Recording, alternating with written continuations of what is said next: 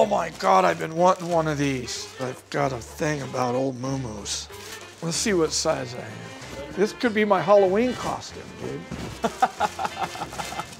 If the dress fits, wear it.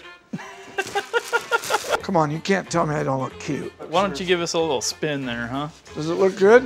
I don't care if that thing looks good or not. Ah, I gotta get it off. Seriously, Brandon, help me get it off. I can't pull the sleeve. Here, your ah. arms don't go that high. Got it? Yeah, Pull.